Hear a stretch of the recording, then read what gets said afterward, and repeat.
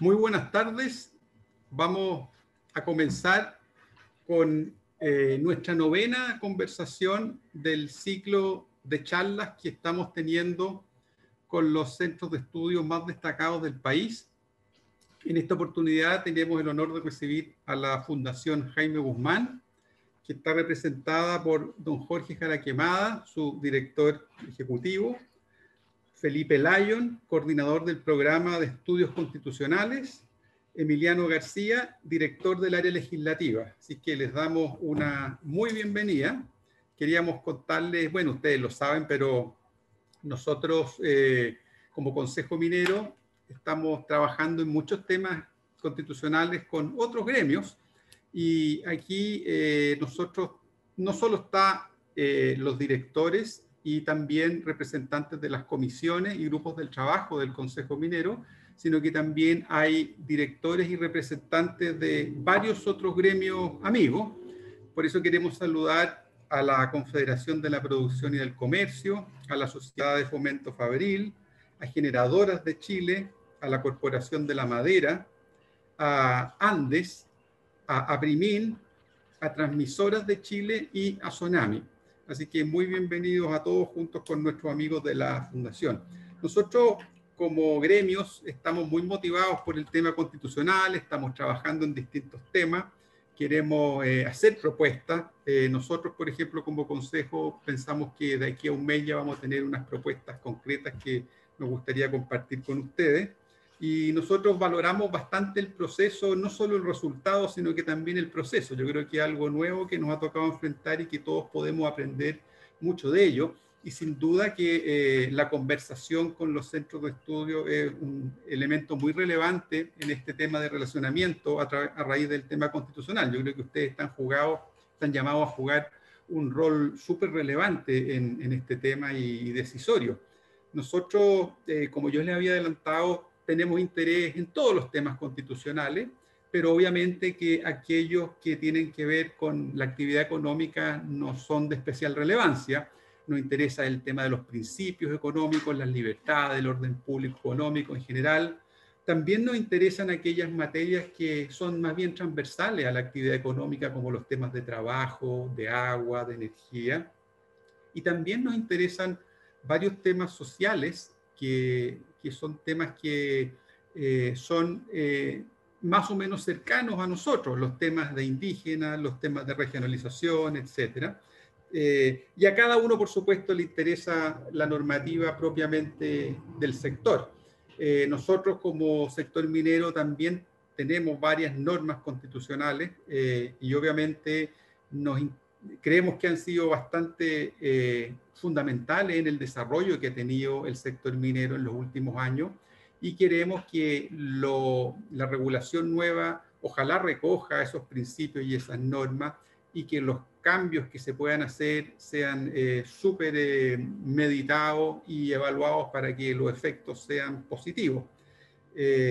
nosotros estamos muy interesados de, primero, la idea es que tengamos unos cinco minutos para que Jorge nos cuente el perfil del centro de estudios de la Fundación, eh, en qué están desde el punto de vista constitucional muy general y, y, y, después, ojalá unos 20, 25 minutos podamos conversar de, de si, si, tienen propuestas, pero si no tienen propuestas también cómo están trabajando, cómo se están organizando, qué lineamientos tienen yo he seguido el trabajo de ustedes y sé que aunque no tengan a lo mejor algunos temas específicos de propuesta en algunas áreas, sí sé que ustedes tienen postura en varios temas que es lógico pensar que van a ser proyectados, digamos, en las propuestas constitucionales. Entonces, eh, si hay propuestas en ciertos temas, por supuesto que nos interesan, pero si no hay propuestas específicas, también nos interesa saber el pensamiento de la Fundación en esos temas en el pasado, porque es presumible, como decía, que se proyecten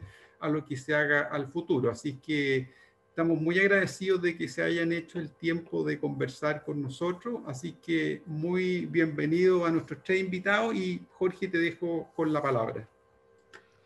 Gracias, Carlos. Eh, muy buenas tardes a ti y a, todos los, participantes de esta conversación.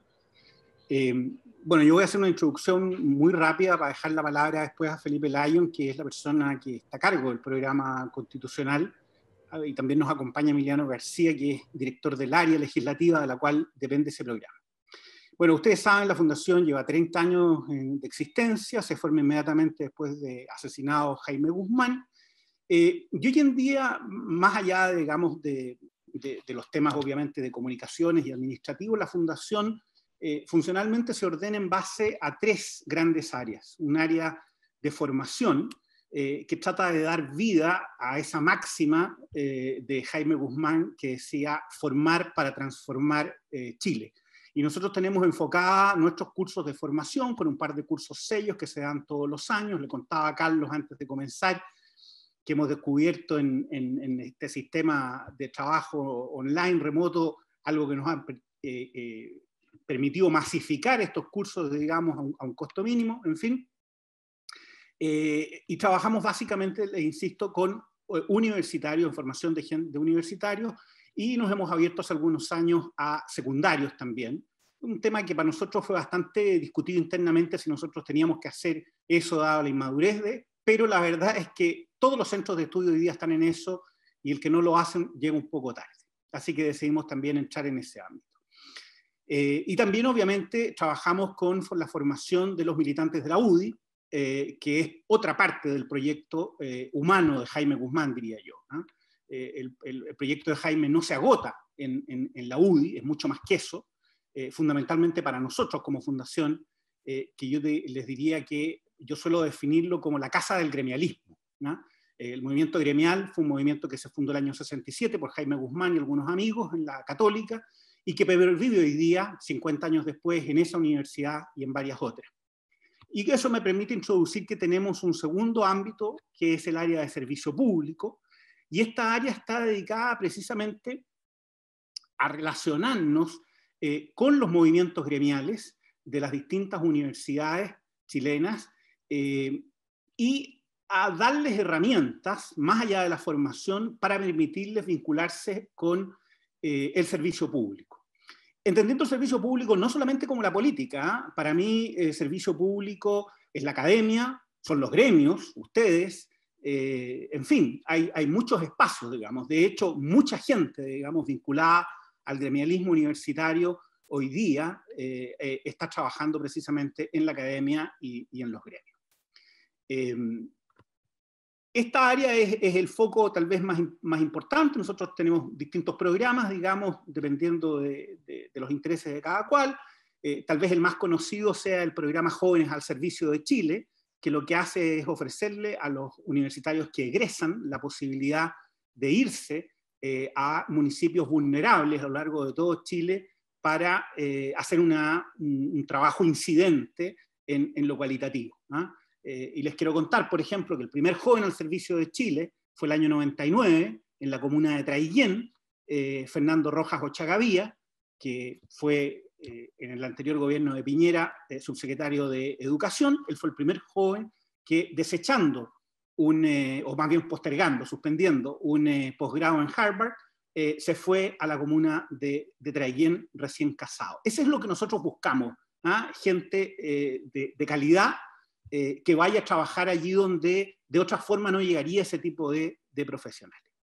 Y tercero y último, tenemos un área legislativa, que es la que eh, dirige Emiliano, y el área legislativa obviamente está preocupada de asesorar a los parlamentarios de la UDI en el Senado y en la Cámara de Diputados eh, para, para, tener un mejor trabajo o una mejor deliberación legislativa en políticas públicas.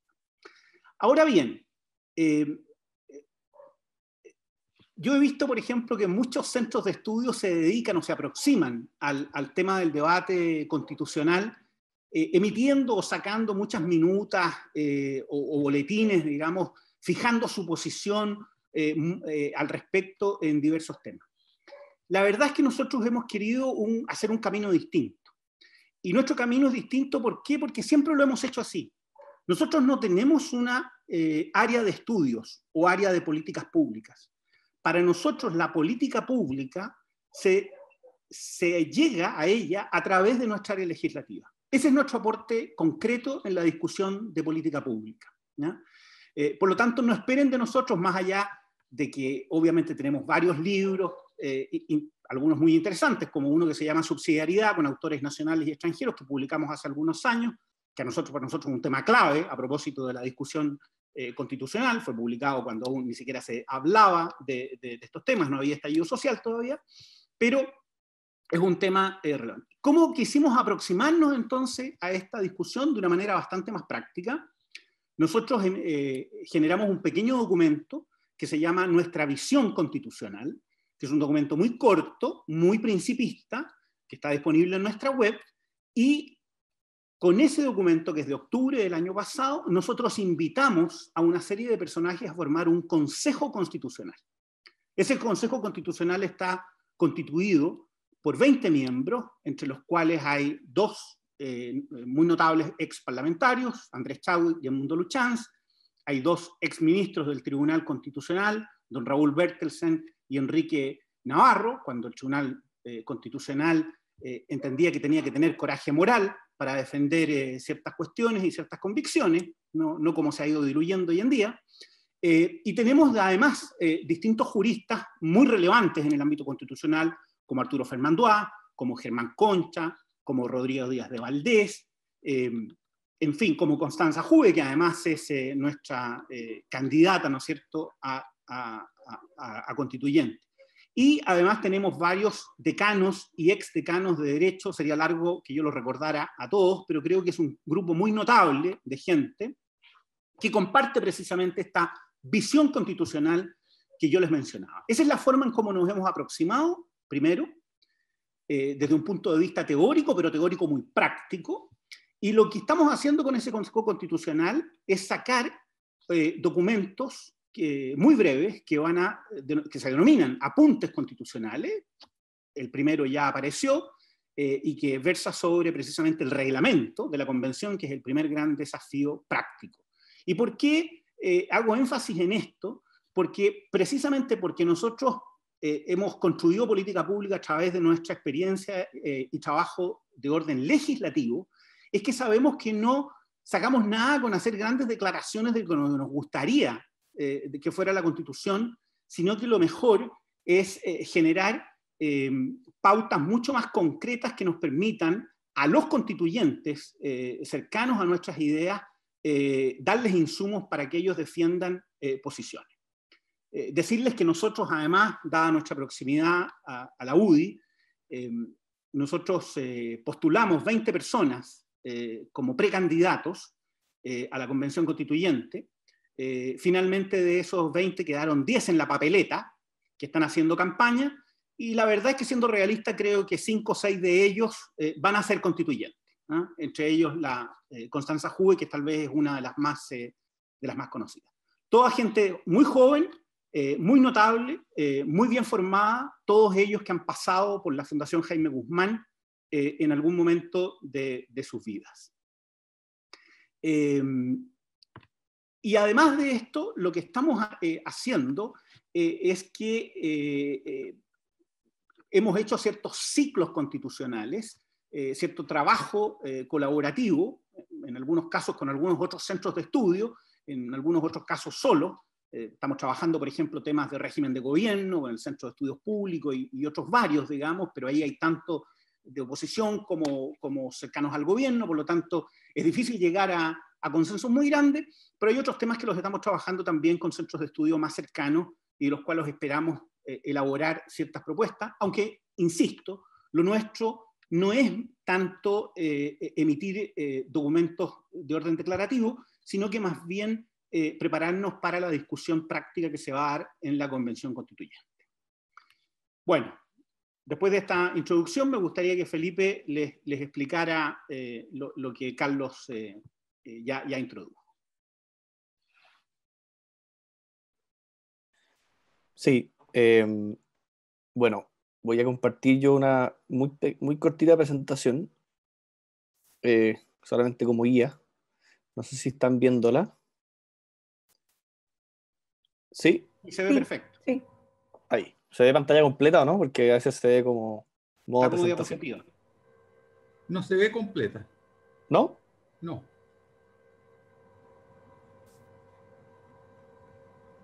¿Y ahí? No sé qué pasó. No. Sí, igual.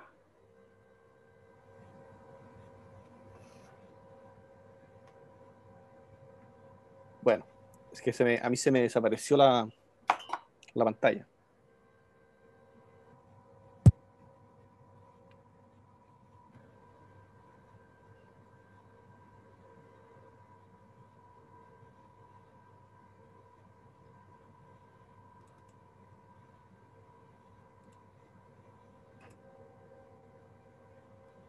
¿Ahí me pueden ver o no?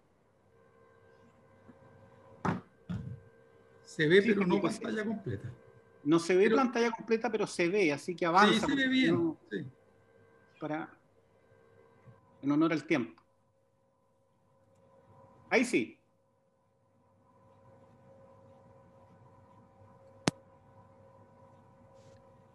¿Ahí me pueden ver? Sí,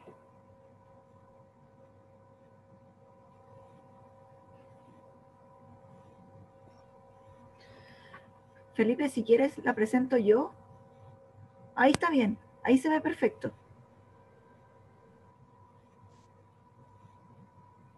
¿Aló? Felipe, ¿se ve bien? ¿Me escucha?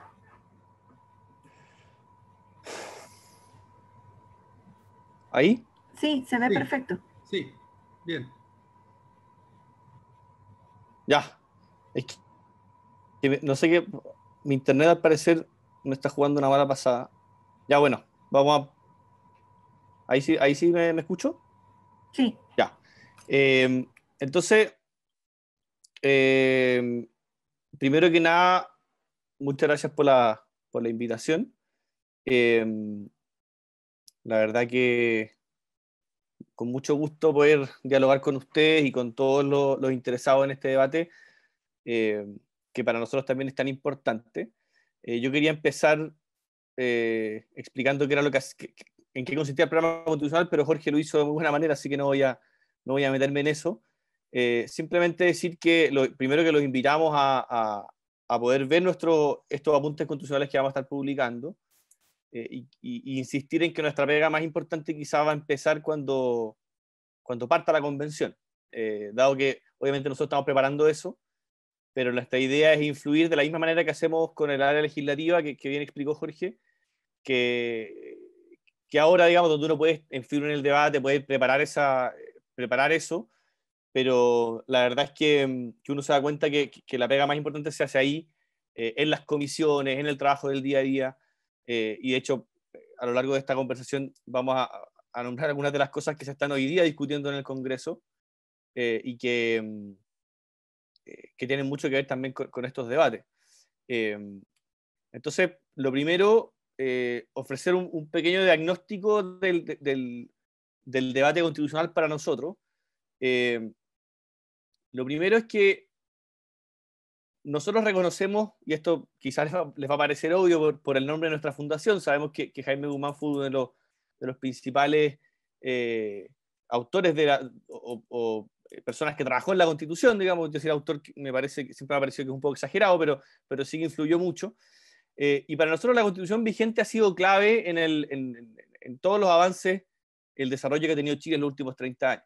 Eh, esto no significa que por eso nos vayamos a cerrar a un debate como este, de hecho, todo lo contrario, nos parece que es muy legítimo y muy bueno, eh, y hay que reconocer también eh, la realidad que estamos viviendo, digamos, esto- este debate se está dando, hay que estar ahí y hay que estar eh, eh, promoviendo y defendiendo las ideas que a nosotros nos representan, no porque por, por ser majaderos, sino que por, eh, porque creemos que son las mejores para Chile. Eh, pero más allá de, más allá de, que se piense que nosotros simplemente pensamos construir un, dique y decir que se, que se mantenga todo lo que está hoy día en la Constitución, eh, el enfoque es distinto. Nosotros lo que, creemos es que eh, este debate tiene que empezar reconociendo nuestra historia institucional, que no solamente se remonta a la Constitución actual, sino que la Constitución actual, en el fondo, es el fruto de, de- de- de discusiones que se vienen dando desde que partió la República de Chile, ¿cierto? En, en 1810 o 1818, según preferamos decir. Eh, y esto es muy importante porque cuando se habla de la hoja en blanco, se habla de partir desde cero, se habla de reconstruir, eh, se habla de, con un lenguaje un poco revolucionario, es complicado porque finalmente, no sé si ustedes vieron el, año pasado que el profesor Jaime Arancibia eh, publicó un, texto que mostraba en el fondo cuánto de eh, el texto actual de la Constitución realmente pertenece al texto original de la Constitución del 80 y cuánto ha sido fruto de lo que teníamos antes y lo que ha venido después. Y la verdad es que solamente un, tercio de la constitución actual es original del, 80. ¿cierto? Hay otro tercio que proviene de eh, nuestras constituciones anteriores y hay otro tercio que es fruto del debate posterior. Entonces, y esto no es, para, nosotros es importante porque nosotros creemos que el debate institucional se tiene que dar sobre lo que ya tenemos. Eh, hay que modificar cosas, va a haber que mejorar otras, va a haber que modernizar, pero, pero siempre entendiendo que hay que respetar eh, el estado actual de las cosas. Y esto porque eh, las instituciones responden a momentos históricos, responden a la historia de los países y no se construyen de la noche a la mañana. Entonces, por, esto que puede parecer muy teórico es muy práctico. Eh, solo por dar algunos ejemplos, se habla de, eh, dado que hoy día tenemos algunos problemas ciertos institucionales más o menos serios, entre, el gobierno, entre el gobierno central, el ejecutivo y el legislativo, y, lo que ha pasado con el tema constitucional, se dice, no, tenemos que empezar a tener, un, por ejemplo, un gobierno parlamentario, un sistema político eh, parlamentario, eh, y, se asume que porque lo que tenemos hoy día eh, tiene algunos problemas, hay que pasarse directamente a tener un sistema parlamentario, o tener un sistema federal, por ejemplo. Y nosotros no creemos que eso, no es que no creamos que eso se tenga que discutir, sino que lo que nosotros creemos es que estas discusiones no podemos tomarlos como con una, por decirlo de cierta forma, frivolidad académica, diciendo, oye, construyamos nuestro país soñado y, lo que más nos gusta, sino que también tenemos que atender, a la realidad de Chile. Y, Chile es un país que ha tenido un presidencialismo durante mucho tiempo, que ha construido sus instituciones durante mucho tiempo, que se intentó un parlamentarismo que no funcionó, que se intentó un sistema federal que no funcionó. Entonces, son cosas que tenemos que recoger al momento de dar estos debates. Y a nosotros lo que nos interesa en ese sentido es que tengamos una discusión seria eh, y que tengamos un texto que permita que las personas se desarrollen libremente eh, y que limite lo suficiente, digamos, al Estado eh, para que ese desarrollo se pueda potenciar. Obviamente protegiendo también a los más débiles, pero eh, eso se hace tanto limitando ciertos casos del poder del Estado como en, otras, en otros momentos potenciando ciertas acciones que tiene que hacer el Estado. y en ese sentido, una cosa que, está ahí también escrita es que, que pueden ver ahí en la presentación es que nos interesa que la constitución no, sea algo que, vemos hoy día mucho en el debate, que es una lista de deseos o un programa de gobierno. O sea, cuando se habla de rentas básicas universales y se habla de, em, de un montón de cosas que tienen más que ver con política pública que con, eh, que con la constitución, digamos que es un marco general, eh, nos parece que hay que poner la pelota contra el piso, como se dice coloquialmente, eh, y, ver las cosas, discutir las cosas en su mérito. Entonces, dado que eh, y esto es una analogía que usamos mucho, en, las, charlas que me tocaba dar a jóvenes, dado que la, eh, la constitución son las reglas del juego, si la, si la vida en sociedad ¿cierto? fuera un partido de fútbol, eh, el Estado sería el árbitro que no puede hacer lo que quiere, ¿cierto? sino que tiene que decir, definir, en el fondo, arbitrar según las reglas, no según lo que quiere, digamos, no puede cobrar mano cuando hay un lateral, pero lo tiene que hacer según las reglas del juego. Entonces, esa es la importancia que tienen estas reglas del juego. Eh, y yo simplemente lo que quería hacer ahora, para, para no alargarme mucho, eh, era em, entrar en algunos de los temas que para nosotros son relevantes en este debate constitucional. Primero, diciendo algunos de los principios que para nosotros, o, instituciones que para nosotros es importante proteger. Eh, y segundo, hacer un zoom en algunas de esas para, que yo creo que para ustedes también son relevantes. ¿ya? Em, entonces, algunos de los temas los voy a pasar más o menos rápido porque, eh, si bien pueden ser muy interesantes, no creo que sea el objeto de esta reunión, tal como ustedes mismos dijeron. Entonces, lo primero y más importante, ¿cierto? La, la persona como el centro de la sociedad. A nosotros nos parece que esto, eh, que es un principio que, que, se ve muy teórico, eh, no lo es en la práctica, porque finalmente lo que esto implica es que el Estado esté al servicio de la persona y no la persona al servicio del Estado, que es lo que vemos en sociedades más lo que se vio en las sociedades totalitarias del siglo pasado y lo que se ve en cierto, eh, de cierta manera también en sociedades como la China. A nosotros nos parece que sí, el Estado tiene que, tiene que ser un, un, un, ente ordenador y un ente que, que, que, promueva la justicia de cierta manera, pero siempre respetando las libertades individuales, intentando que sean las propias personas las que puedan construir su futuro y no el Estado el que construya el futuro de las personas. Em, y en ese sentido también es importante el rol que tiene la familia. Eh, acá, digamos, sabemos que en torno al tema de la familia hay un montón de debates eh, de índole eh, moral, ¿cierto? que son muy complejos, y no me quiero en este minuto meter ahí, pero sí quiero recoger el, tema de la familia desde un punto de vista también de la política pública y también del, del tema de la subsidiariedad, de la sociedad civil, porque es al final la primera agrupación humana la familia. Y nosotros creemos que muchas veces las políticas públicas en Chile se han construido pensando más en el individuo que en, la que, en el grupo humano, digamos, que en la familia. Eh, y eso es complejo. Eh, no, solamente por, dar ejemplos, cuando se habla de políticas de vivienda, políticas habitacionales, muchas veces las personas prefieren, a pesar de que viven juntos y están casados de facto, prefieren no casarse, sino que prefieren, eh, para que para el Estado parezca que están viviendo solos, para poder postular a dos subsidios habitacionales. Por ejemplo, es un ejemplo que eh, que, no necesariamente se da masivamente, pero que sucede bastante. Eh, y lo, digo solamente porque hay un ejemplo quizá donde una política pública podría haber sido pensada más en la familia que en el individuo. Eh, y hay otro, obviamente un montón de, cuestiones más. Pero em, ya que entramos a un tercer, a un tercer principio que tiene mucha relación con el primero, así que lo voy a pasar bastante rápido, pero que es el Estado al servicio de la persona y no al revés, ¿cierto? Teniendo como finalidad siempre el bien común, que es el desarrollo de todos y cada una de las personas. Em, y como número cuarto, digamos, acá ya en, este sí me interesaría eh, quedarme un poquito más, porque tiene mucho que ver con el rol que ejercen ustedes, está el principio de subsidiariedad. Obviamente acá lo, lo, nombramos como Estado, relación del Estado con las asociaciones, em, porque finalmente eh, el Estado se vincula constantemente con las personas y con las asociaciones de personas, ¿cierto? Con las empresas, los gremios, los colegios, las universidades, em, etcétera, etcétera, ¿cierto? Todas las agrupaciones humanas. Y es súper importante, primero, que esas agrupaciones humanas puedan conservar esa autonomía para, para, para, eh, para desenvolverse, cosas que hoy día nos parecen muy básicas, ¿cierto? Quizá, y decimos, oye, esto es obvio, pero es que eh, no eran tan obvios al momento en que se dictó, en, que se incluyeron en la Constitución. Entonces, eh, y, dado que, hoy día todo se discute un poco desde cero, entre comillas, como decía antes, es importante que, mm, que, estas cosas se vayan, eh, o sea, las vayamos reasegurando, ¿cierto? Eh, y si no le decimos subsidiariedad, le, le, podemos decir de otra manera, ¿cierto? El rol de la sociedad civil, participación de, los privados en los bienes públicos, pero nosotros como fundación estamos convencidos de que el aporte que hacen los, los privados entendido, entendido los privados como las personas asociadas, desde juntas de vecinos hasta grandes gremios empresariales, es clave.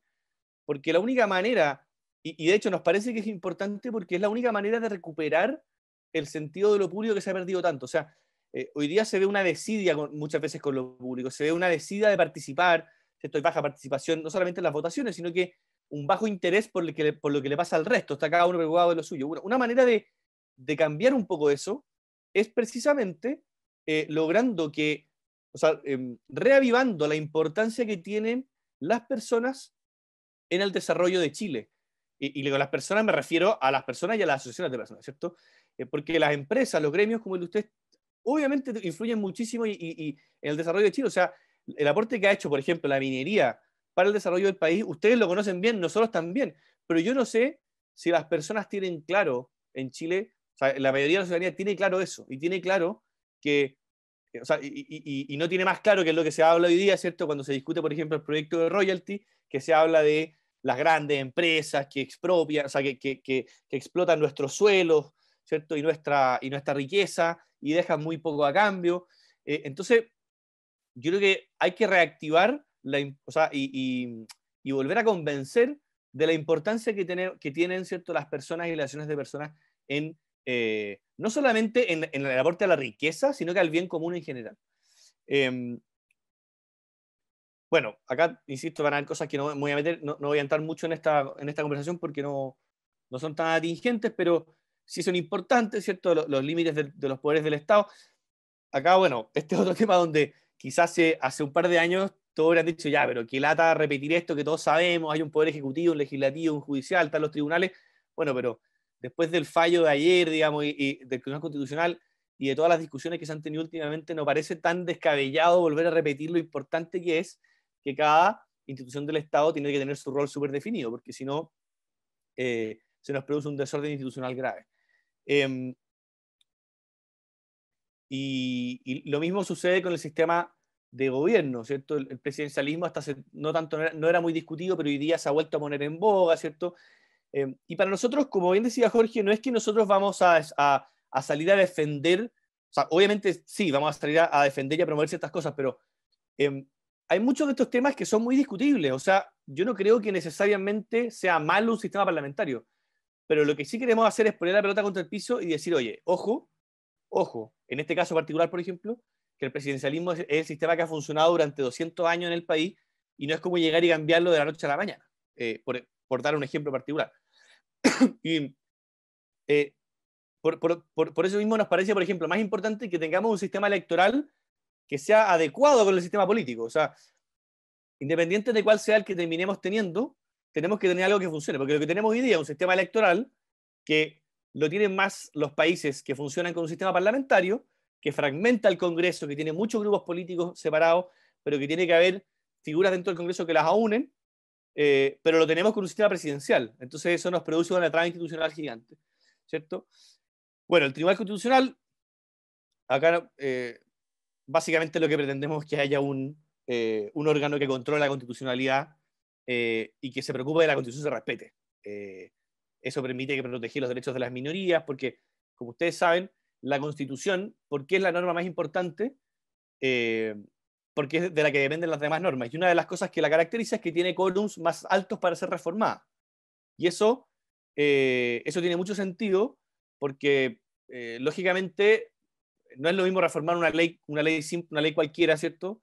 La ley de tránsito, por ejemplo, que reformar la constitución. Eh, entonces, por lo mismo, el Tribunal Constitucional tiene que estar ahí para proteger, ser otra, otra barrera protectora de la Constitución, no para que no se reforme, sino que para que todas las reformas legales y todas las eh, y, las constitucionales que se ven en el país sean con el respeto también de nuestra institucionalidad. Eh, y esto actualmente recae en el Tribunal Constitucional. Sabemos que hay otros países que lo hacen recaer en la Corte Suprema. En Chile también fue así. Eh, ¿Cierto? También fue así. pero bueno, creo que esto es algo perfectamente discutible. Lo importante es que haya un control de constitucionalidad. Luego, resguardo los derechos fundamentales. Acá eh, lógicamente, este es uno de los grandes triunfos de la civilización.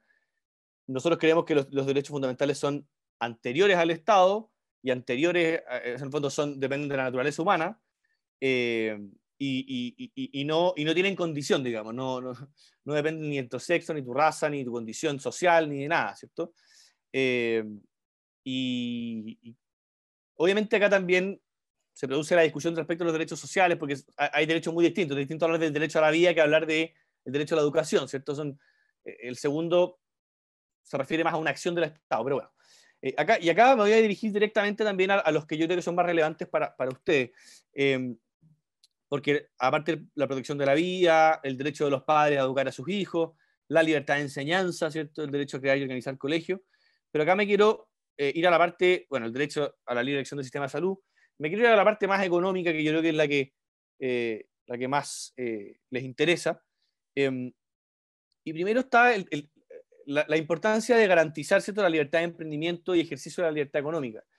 Este es otro de los temas que, que nos, estaban, nos parecían súper obvios hasta hace un tiempo, pero que hoy día también empiezan a, a, ser más cuestionados, digamos. ¿Por qué? Porque hay una institucionalidad que es más rígida, ¿cierto? Se piden más condiciones, han empezado a entrar todos los temas ambientales, que no necesariamente son malos, pero que, que van también eh, haciendo más dificultosa, digamos, la, capacidad de emprender o de formar proyectos. Eh, y son cosas que hay que atender. Eh, este tema lo, lo, voy a tocar un ratito más, hablando de desarrollo sostenible, así que no, no, lo voy a saltar mucho, simplemente creemos que es importante que esto se garantice. ¿ya? luego está el derecho de propiedad. El derecho de propiedad em, ¿Qué es lo que nosotros creemos? Eh, obviamente que su regulación es muy importante, o sea, los países con, derecho, con, una protección eh, firme del derecho de propiedad, eh, tienen en promedio un PIB, un Producto Interno Bruto 20 veces mayor a los que no lo tienen. O sea, es así de importante es la protección de este derecho. Eh, pero nosotros no creemos, o sea, yo sinceramente no creo que se quiera dejar fuera el derecho de propiedad. O sea, todas las constituciones tienen garantizado el derecho de propiedad. Acá la discusión y el problema es cómo se garantiza el derecho de propiedad. Eh, porque en el fondo eh, eh, escribir, ¿cierto? Que está garantizado el derecho de propiedad es muy fácil. El tema es cómo lo garantizamos, de qué manera. Eh, y la gran limitación al derecho de propiedad siempre ha sido, también está en nuestra constitución, es la, llamada función social de la propiedad, ¿cierto? Que es el Estado finalmente, amparándose en esta función social, puede limitar en algunos casos el derecho de propiedad, ¿cierto? A través de leyes, general, generalmente, ¿cierto? A través de una ley, ya sea expropiando por, por, una razón de utilidad pública, ¿cierto? Ya sea Em, por ejemplo, lo que pasó este año con la pandemia, eh, en el estado de excepción, ustedes vieron cómo eh, se, en el fondo se le exigió a las, a, las clínicas privadas sumarse al sistema eh, unificado, digamos, de salud para los efectos de atender la pandemia. Es una limitación clara del derecho de propiedad, ¿cierto? Pero que tenía una, una, una razón de ser súper importante, que era una razón de salubridad pública y, porque estábamos ante una catástrofe, ¿cierto? Y, nacional y mundial, ¿cierto? Eh, pero eh, esa, función social, que, es el punto 3 acá en la, lámina que están viendo, em, también se usa como excusa muchas veces para otras cosas, y eso es lo que hay que atender. En el fondo, acá lo que probablemente quienes quieren, eh, en el fondo, orar un poco la, regulación del principio del derecho de propiedad, no es que quieran sacarlo de la Constitución, lo que van a, lo que van a hacer va a ser, em, en el fondo, expandir la idea de función social, eh, que quede una regulación un poquito menos rígida, cosa de que sea más fácil eh, pasar a llevar el derecho ¿ya? O sea, acá, insisto, no, quiero hacer campaña del terror con estos ejemplos, pero, pero es la realidad, digamos. Em, en Venezuela, por ejemplo, cuando se expropian eh, edificios o incluso se, le exige a familias utilizar piezas de su casa para alojar funcionarios públicos o personas que no tienen casa, eh, se hace a través de, justificándolo a través de la función social de la propiedad, No, no, no, eh, jurídicamente se hace de esa forma, digamos. Eh, y siempre se puede utilizar un resquicio para justificar un montón de cosas. y obviamente esto también sabemos que también por todo el debate que hay de los recursos naturales ha tocado temas como el derecho de aguas o las concesiones mineras. ahí actualmente se está discutiendo, por ejemplo, la ley de royalty, yo sé que el Consejo Minero ha tenido participación en esa discusión. Yo vi a, a, Joaquín Villarino exponiendo en la, eh, en, la, eh, en la Comisión de Minería y Energía y en la de Hacienda, eh, y que es un debate súper importante. O sea, estamos hablando de la tributación de la industria más grande y más importante que tiene este país. pero lamentablemente, y esto, insisto, no, no, es, para hacer campaña del terror, sino que para que se entienda el contexto, nosotros tenemos la oportunidad de estar ahí en el debate, en el debate eh, en el debate legislativo in situ, y la verdad es que el ambiente está muy malo y, es, fome porque finalmente con lo importante que es esta discusión se trata de apurar, se trata de votar lo antes posible, a pesar de todas las presentaciones que indican que esto es un tema que se debería tomar con mucha más calma. Eh, incluso ayer, esto pasó ayer, eh, tanto el diputado, por ejemplo, Pablo que, que es el presidente de la Comisión de Minería, decía que ojalá el Congreso esté a la altura del, Congreso que nacionalizó el cobre hace 50 años, o el diputado Marcelo Chilling decía que, em, que si no funcionaba este proyecto de royalty, había que volver a nacionalizar el, cobre, digamos, y expropiar las empresas, em, y, tal como si hace 50 años, no pagándose indemnizaciones, porque finalmente eh, tienen tantas ganancias que no vale que, esa, será su indemnización, cosas como esa. Entonces, insisto, nosotros lo que queremos acá es poner la pelota al piso y, que estas cosas se discutan en serio. Eh, bueno, acá eh, ya toqué este tema hablando del royalty un poco, pero la protección tributaria, ¿cierto? Hay tres principios muy importantes, el de legalidad, ¿cierto? que los tributos se establezcan por ley, la no discriminación tributaria, que no, se, le imponga en cargas a una industria más que a otra eh, arbitrariamente, y la no afectación de los recursos que se recauden a través de los impuestos. Bueno, estos tres principios se están pasando ya hoy día con la ley de royalty, eh, que tiene toda la pinta de, que va a seguir avanzando, al menos en la Cámara de Diputados. Entonces, eh, estamos enfrentándonos a debates que hace poco tiempo quizá eran básicos y que hoy día ya no lo son. Entonces, eh, nosotros no estamos haciendo parte, obviamente, pero, pero queremos que tengan claro que para nosotros estos principios son importantes. Eh, lo mismo pasa con el Banco Central, ¿cierto? Eh, el Banco Central Autónomo en Chile no es tan reciente, no es tan reciente. Y, lo que teníamos antes era un ejecutivo que podía imprimir billetes a diestra y siniestra para financiar cuestiones sociales y eso hoy día, em,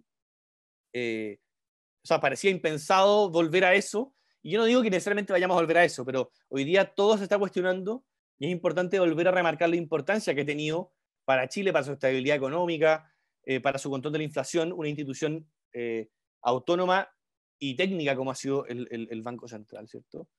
Y, el último gran principio, y, con esto cierro esta parte, y muy brevemente, porque ya llevamos un buen rato, eh, paso a la, conclusión, es el tema de la reforma de la Constitución. Como ustedes saben bien, ya estamos embarcados en el proceso constitucional, pero en la manera en que se empezó este proceso de reforma constitucional, a mí me parece que tiene parte también de la culpa de eh, la gran crisis institucional que tenemos hoy día, porque em, obviamente esto todo está vinculado y, es un poco, no, le vamos a echar la culpa a la gente que hizo ese acuerdo famoso en noviembre, pero, pero sí sucede que ese acuerdo fue totalmente inconstitucional, si no lo pensamos, porque lo que hizo fue definir un programa de reforma de la Constitución que estaba fuera de la Constitución. Entonces, eh, cuando pasa eso y después se presentan proyectos de ley que pasan a llevar la iniciativa exclusiva del presidente de la República, eh, que, no cumplen con los quórum, eh, con los quórum, que son declarados inadmisibles y, les da lo mismo y lo siguen tramitando, eh, finalmente se ha ido gradando el sentido que tienen las normas y lo importante que son para una democracia, ¿cierto? Porque si no hay reglas comunes no hay democracia. Y parte de eso es definir métodos de reformar la Constitución que sean que, protejan a las minorías, ¿cierto? Y que eh, tengan quórums que, no necesariamente sean eh, eh, quórums, ¿cierto? Que no permitan reformar nada, pero que sí requieran mayorías importantes, como pasa hoy día para la convención. Um, eso es lo que tiene el derecho internacional, ¿cierto? O sea, acá se reclama por quórum de tres quintos que o de dos tercios, que es máximo 66,6%. En Estados Unidos el quórum para reformar la constitución es superior al 70%. Eh, no digo que, haya que copiar eso, digo que para tener referencia con lo que pasa en otros países. Eh, y esto ya es lo último. ¿En qué aspectos vamos a poner especial énfasis? En los aspectos que a ustedes les interesan. Primero, eh, como dijo Jorge, eh, el primer tema en el que nos metimos ahora fue el tema del reglamento, que esto, yo sé que es un tema que puede ser súper técnico, pero es un tema muy importante porque el reglamento va a definir cómo funciona la convención. y esto podría producir resultados por secretaría instantáneamente. ¿A qué me refiero con esto? Em, hay personas que han propuesto, por ejemplo, limitar mucho la participación de, eh, eh, de la sociedad civil en la convención. Eh, obviamente lo hacen pensando en los gremios como ustedes, digamos, porque dicen que tienen intereses particulares y que no deberían poder participar, etcétera, etcétera. Por dar un ejemplo, es clave, nosotros creemos todo lo contrario, que haya mucha participación de la sociedad civil, tanto de la, insisto, desde las juntas de vecinos hasta eh, los grandes gremios empresariales. Em, y porque una discusión que, que puede durar mucho tiempo, entonces es importante moderar expectativas de la ciudadanía eh, que piensa que va a empezar la convención y vamos a empezar a, dictar derechos que le van a cambiar la vida, cuando la realidad es muy distinta. Eh, y es importante que se permita que en la convención se pueda negociar, se pueda discutir, hay que recuperar, digamos, o sea, revalidar la importancia que tiene la negociación, los acuerdos que hoy día se han devaluado tanto en la ciudadanía y, eh, a mi parecer, bastante injustamente. Cuando todas muchas voces están hablando de que no, que todo tiene que ser súper transparente, que nosotros nos quitemos, no, no, no nos ponemos a la transparencia, muy importante, pero, pero que eso también tiene que ser acompañado de espacios de negociación, de la posibilidad de que se llegue a acuerdo y que haya eh, quórums, digamos, que sean representativos de la ciudadanía. Eh, y bueno, la modernización del Estado, creemos que esto es súper importante para efectos de que no se gaste tanto eh, en la, grasa, la famosa grasa estatal, ¿cierto? Hay que simplificar las acciones del Estado, hay que lograr que esto también yo creo que es atingente para ustedes con todo lo que tiene con la burocracia. Eh, hoy día muchas veces uno tiene que ir al Estado, o sea, algún órgano del Estado para solicitar un trámite que te pide eh, papeles o te pide documentos que son de otro órgano del Estado eh, y, ese te pidió de otro órgano del Estado, y al final eso se, entiende poco, y, es importante eh, producir una organización real del Estado que implique eh, en el fondo, hacerlo más eficiente, eh, porque también esto, de esto depende de la calidad de vida de las personas, ¿cierto? Después en los temas del sistema político no, no voy a meterme ahora porque ya llevamos un buen rato, que tiene que ver con, el balance de competencias del Ejecutivo y del Legislativo, ¿cierto? Eh, y, y, quizá va a haber que efectivamente darle más atribuciones al Poder Legislativo. Eh, y hay un montón de hay propuestas que nosotros tenemos ahí concretas. Esta presentación yo se las mandé, así que pueden revisarlas ahí y, y mandarles también el documento base que tiene esta presentación. Lo mismo con terminar la, la parálisis institucional. Eh, y con esto, ya me quedan las últimas dos láminas. Eh, el tema de los derechos sociales es súper amplio y es súper grande y, podríamos estar un año hablando de eso, pero simplemente decir que en este, en este tema a nosotros nos interesa que, como ya dije, la Constitución no sea un programa ideológico, porque hay muchas de las cosas que hoy día se proponen para la Constitución que, eh, que en el fondo no tienen que ver con lo que nosotros creemos que debería estar en una Constitución. Hay constituciones como la brasileña o la ecuatoriana, la boliviana, que garantizan cientos de cientos de derechos sociales que en la práctica no se cumplen, porque la Constitución no es una lista de deseos, sino simplemente establece estos principios generales que después el Estado va a tener que aplicar en la práctica. Entonces, y, y, en el fondo, si, no, si eso no se respeta, no se cumple, no sacamos nada con escribirlo y terminamos convirtiendo a los jueces eh, en verdaderos administradores de políticas públicas, porque los jueces todos estos derechos se terminan reclamando el Estado y los jueces son los que terminan determinando, terminan determinando que sí y que no. Eh, y, se termina pasando, digamos, la, algo que debería ser parte de la política, digamos, y del Congreso a los jueces, digamos, a los tribunales. Eh, la descentralización, que a nosotros nos parece clave, siempre manteniendo un Estado unitario, eh, ¿cierto? Pero acogiendo las necesidades y las particularidades que tiene cada territorio, eh, sabemos que obviamente Chile es un país que eh, es muy centralista por razones también eh, históricas, ¿cierto? Santiago es la ciudad más grande, tiene la mayoría de la población, eso es innegable, pero sí creemos que se puede avanzar hacia una descentralización mucho más efectiva en las municipalidades, en las regiones, y que eso también va a permitir volver a confiar, en que las personas vuelvan a confiar en sus autoridades y en la política, porque creemos que también esto en parte ha pasado por el sistema electoral que tenemos hoy día, que hizo distritos mucho más grandes, eh, que no se entiende nada lo que se vota, que, en el fondo la gente pierde confianza en la política y en los cambios, si es que dice, oye, ¿sabes qué? Eh, nunca nadie me escucha, no veo cambios concretos, en cambio si acercamos la política y la toma de decisiones a la gente y a los territorios, eso puede cambiar. Y esto es lo último, desarrollo sostenible.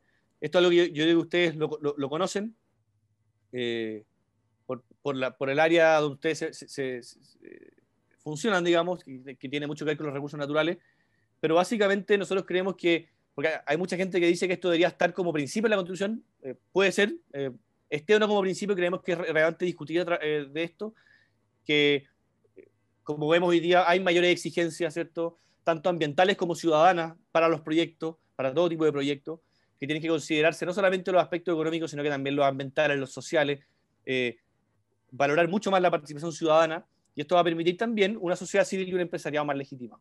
Eh, ahí simplemente puse como ejemplo, para los que son más futboleros, del estadio de la, Católica, el, proyecto del nuevo estadio de la Católica, que, eh, que lo que yo he visto al menos, eh, y acá se me sale lo hincha, lo hincha, digamos, pero no solamente por eso, sino que porque yo he visto que este es un proyecto que ha sido muy valorado socialmente porque se, se incorporó a las juntas de vecinos, se, se, crearon muchos planes de mitigación, se logró que en el fondo la, ciudadanía participara, se les, dio, se les va a dar acceso a, ciertas, a, eh, ciertos espacios deportivos, en el fondo, y, con eso se logró que el proyecto se legitimara. Entonces, con los proyectos mineros, con los proyectos eh, eh, energéticos, etcétera, y, y, todo tipo de proyectos económicos, yo creo que va a pasar un poco lo mismo y vamos a tener que apuntar a un a, que el desarrollo de Chile tenga esta base en el desarrollo sostenible.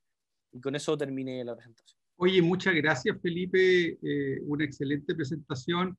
Eh, eso de que no tienen propuestas constitucionales, eh, la verdad es que no se hace muy necesario porque está clara las posturas que tienen ustedes. Entonces yo diría que esta ha sido una de las conversaciones con centros de estudio en que hemos en que han sido más concretos en plantear sus posturas ante los distintos temas que tiene la Constitución. Así que le agradecemos porque ha sido súper ilustrativo. Y queremos aprovechar que nos quedan cinco minutitos para hacerle un par de preguntas. Ahí, Jorge, tú ves quién, quién nos responde, pero una pregunta es, eh, bueno, entendemos lo que ustedes piensan, nosotros tenemos también algunas ideas, pero la verdad es que eh, las mayorías políticas eh, son, son las que son, digamos. Entonces, atendido a que las mayorías y las minorías son lo que son, el resultado final, digamos, quiero proyectarme el resultado final, que es la nueva constitución. En esa nueva constitución, ¿cuáles ven ustedes que van a ser los grandes temas nuevos o dentro de los temas viejos los que van a tener vuelcos más importantes? Esa es una primera pregunta que queríamos hacerle. Emiliano, ¿quieres contestar tú? Hola, muy buenas tardes. Eh, yo creo que dentro de los temas, podríamos decir nuevos dentro de toda la discusión del derecho constitucional, probablemente hay muy pocos temas que uno puede decir que son nuevos, que quizás para nuestra, para nuestra discusión pública pueden tener mayor o menor novedad, pero, pero por ejemplo, el, lo que ha sido muy debatido en Chile, por lo menos en los últimos 15 años probablemente, ha sido el Tribunal Constitucional. Y luego ese, ese debate se vio mucho mayor, digamos, alimentado porque se cambiaron las atribuciones del, Tribunal Constitucional el, año 2005. Por lo tanto, creo yo que ahí eh, hay una, hay un, hay un tema que, que, que, ha, estado latente y eso se va a discutir mucho en esta nueva constitución. Eh, recordemos que, eh, digamos, al menos la premisa es que esto es una discusión de hoja en blanco, es decir, vamos a ver si es que es necesario tener un tribunal constitucional eh, como órgano, digamos, que ejerce el control de constitucionalidad concentrado o va a ser difuso, que lo va a ejercer la Corte Suprema, qué sé yo, de distintas formas. Entonces yo creo que es un tema eh, que va a ser relevante en el futuro y probablemente se va a zanjar esta constitución. Eh, y otra cosa que, que, yo creo que va a ser muy importante en, esta, en este debate, que recién lo mencionó Felipe, son en primer lugar el tema de los derechos sociales, pero no tanto como los derechos pensados como prestación, que eso es lo que normalmente a nosotros, eh, como que lo, que está más, digamos, a flor de piel en el debate público, sino que también los derechos sociales eh, recordemos, los derechos sociales no son, necesariamente implican un Estado social de derecho, ¿ya? O sea, eso, esa, esa discusión va a ser muy relevante porque también los eh, agentes privados, digamos, y acá prima mucho el principio de subsidiariedad, también pueden prestar esos bienes públicos y en el fondo eh, dar de alguna forma esos derechos sociales. Entonces esa discusión dogmática, si se quiere, se va a dar en este proceso constituyente y la discusión a futuro de eso va a ser precisamente cuáles van a ser la, cuál va a ser la interpretación que hagan los tribunales respecto de eso. Y ahí, a mi juicio, y yo creo que el tema clave central va a ser si es que es necesario que la Constitución contenga eh, normas para interpretar esos derechos, que en el fondo le entregue normas a los jueces y, al juez constitucional para poder interpretar eh, eh, mejor esos derechos sociales. Porque hoy día resulta que, y lo mencionó muy bien Felipe, probablemente se da mucho que al final la tercera sala de la, de la, Corte Suprema termina tomando definiciones de carácter presupuestario finalmente. Y eso obviamente es un problema, es un problema que está al centro del orden, digamos, de la separación de poderes del, Estado constitucional de derecho. Entonces, es importante que, a mi juicio, la, la Constitución al menos manifieste alguna, alguna de estas posiciones. Y lo otro es respecto al desarrollo sostenible, eh, en cuanto al derecho a vivir en un medio ambiente libre de contaminación, como está hoy en la Constitución, probablemente esto va a ser mucho más extendido, este, este, esta garantía, y, y, eso también va a tener cierta implicancia en cosas como la libertad económica, porque recordemos que siempre se ha planteado al menos una suerte de supuesto conflicto que hay entre la libertad económica y el desarrollo sostenible, eh, lo que yo creo que no es así, pero, pero al menos así lo, así lo han visto los tribunales y también la, la mayoría de la doctrina lo sostiene, lo sostiene, Pero yo creo que ahí es donde probablemente se van a dar los dos debates a futuro más, más relevantes. Si me permites complementar, eh, Carlos, muy brevemente, yo, yo creo que no van a haber grandes temas nuevos en esta discusión. Los temas ya están lanzados, ya están sobre la mesa. El tema más bien es el enfoque y las tensiones que se van a provocar. Yo te diría los tres grandes temas que a mí me parece que van a eh, cooptar, digamos, la discusión eh, de deliberación constitucional son el régimen político, Es decir, si vamos desde un presidencialismo hacia otro sistema, intermedio hacia el parlamentarismo, eh, el tema de los eh, derechos sociales, digamos, garantizados, y el tema de los pesos y contrapesos en, en, una sociedad como la nuestra. Y ahí no solamente dejo a la vista el Tribunal Constitucional, sino que también, obviamente, eh, la Contraloría eh, General de la República, el, Banco Central, en fin, que, funcionan también como peso y contrapeso.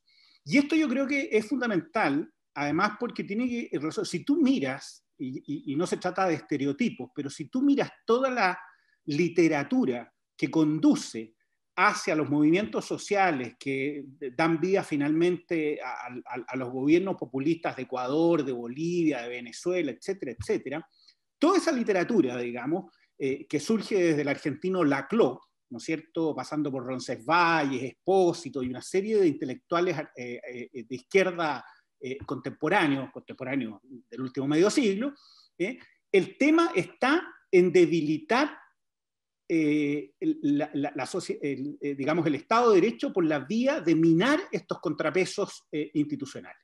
Por lo tanto, eh, el Tribunal Constitucional, sobre todo después de, digamos, de, las lamentables eh, actuaciones que ha tenido en el último año, digamos, eh, es un bocato de cardenales para, para, quienes quieren, digamos, yo diría debilitar esa, esa situación. Perfecto. Oye, quería agradecerles porque estamos en la hora. Jorge Felipe Emiliano ha sido súper ilustradora la conversación. Eh, sigamos en contacto. Cuando nosotros tengamos nuestras propuestas, se las vamos a llegar, cuando ustedes hagan cosas, seminarios, eventos, invítennos también, nosotros podemos transmitirle a nuestras empresas, tenemos que estar eh, bien con lazos estrechos porque viene un tema que es esencial, así que un millón de gracias, felicitaciones por el trabajo que están haciendo en la fundación, que les vaya muy bien y esperamos vernos próximamente y también a los amigos que se han conectado, eh, cuídense que estén todos muy bien, un gran abrazo. Sí, gracias, gracias Carlos por, tus palabras. Eh, solamente agregar, digamos, que nosotros tenemos distintos documentos como ideas y propuestas, mirada política y recientemente los apuntes constitucionales. Cualquier persona se puede suscribir a ellos para que lleguen por mail o otra o en nuestras plataformas, redes sociales y Facebook, Instagram. Así que eh, si quieren conectarse con nosotros, bienvenidos. Muchas gracias, que estén muy bien. Hasta luego. Muchas gracias a ustedes.